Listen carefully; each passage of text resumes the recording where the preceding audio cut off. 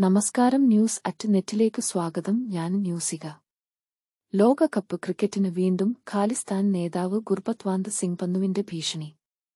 നാളെ നടക്കാനിരിക്കുന്ന ലോകകപ്പ് ഫൈനൽ അട്ടിമറിക്കുമെന്ന് ഖാലിസ്ഥാൻ നേതാവ് ഗുർബത്വാന്ത് സിംഗ്.